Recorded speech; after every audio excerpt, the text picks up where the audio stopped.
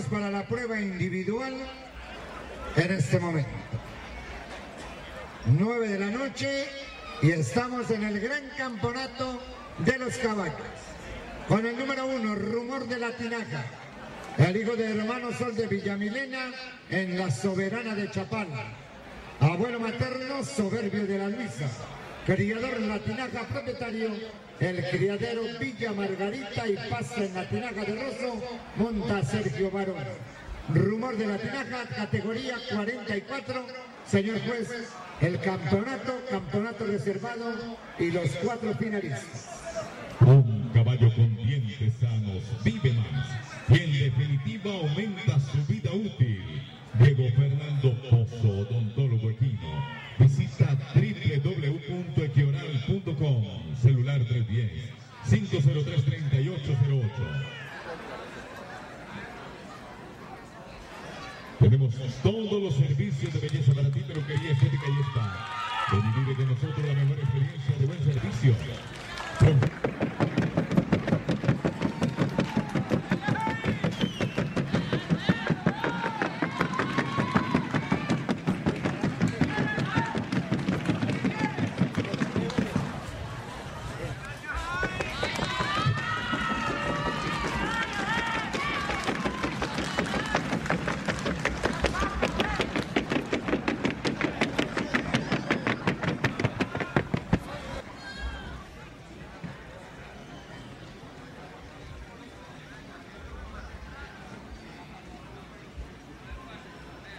Con el número 4.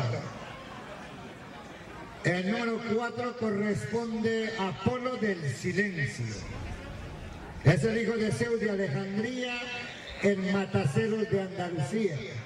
Abuelo materno Maracanazo, criador propietario y pasta en el criador del silencio y monta Oscar Marín. Apolo del silencio con el número 4. Casa Grajales rinde homenaje al maestro Marrayo con un magnífico vino especial. Consíguelo en el stand de Casa Grajales, en la zona comercial.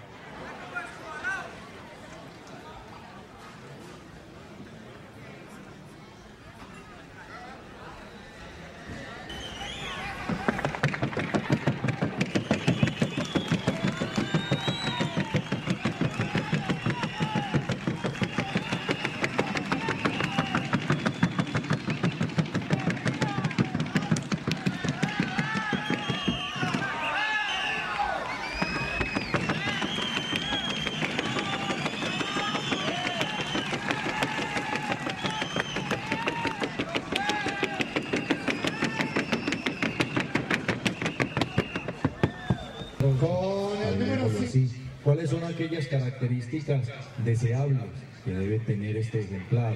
Y para que quede el andar bien representado. Entonces debe tener algunas características como las tiene cada uno de estos ejemplares. La mansedumbre, la atención, la disposición para el trabajo. Debe tener un muy buen acondicionamiento físico, también acondicionamiento a nivel de su boca. Algunos ejemplares se han destacado por la velocidad de sus movimientos, algunos por la coordinación en esos movimientos. Y hay caballos que trabajan muy bien en la pista blanda y no les favorece la tabla, otros a la inversa. Allí, en la pista de resonancia, es donde uno los observa, el caballo se sube, se muestra orgulloso y eso está muy bien. Entonces, siempre se trata de elegir el caballo que suma todos y cada uno de estos elementos en la configuración, en el comportamiento, en la disciplina, en la manera de realizar las pruebas y en la secuencia de los movimientos. En estos momentos, caballo que se observa en su morfología correcta, en su posición de cabeza, en la manera como ejecuta su tren posterior, sin dar ningún tipo de ventajas en las hechuras. A eso me refiero exactamente. Visto de frente hacia atrás, de atrás hacia adelante, cada uno de esos ángulos se han podido apreciar estos buenos caballos. El caballo con el número uno se declara gran campeón de la trocha colombiana.